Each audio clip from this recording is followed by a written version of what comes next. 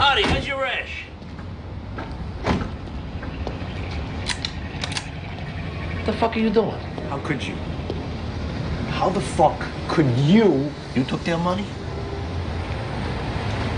Go ahead, then do it. Do it, because I don't give a fuck anymore. Go ahead. That restaurant was like my child.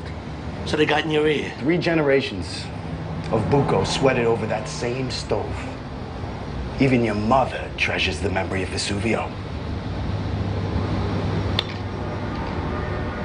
My mother? Oh, don't say she's lying, Tone. Because why would she? What'd she tell you, my mother? Don't make it worse.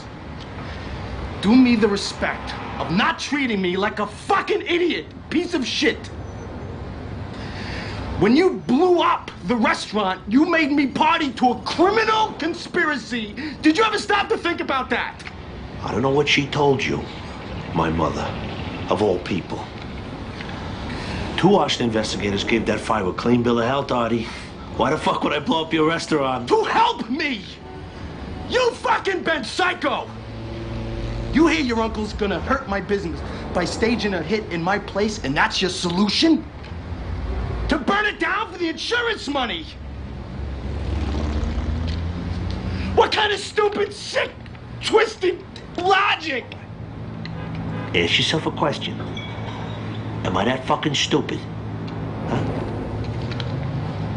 Am I that fucking stupid? Really?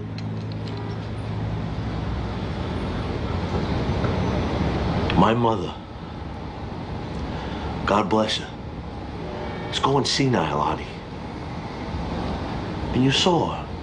I love my new place so much. And this ruins everything.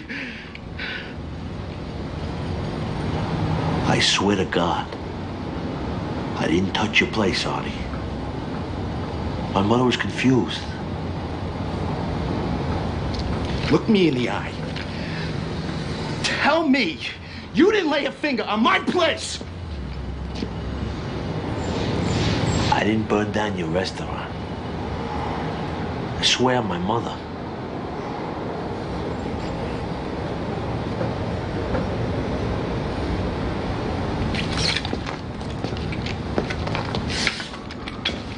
Take it easy. Uh, what the fuck are you doing?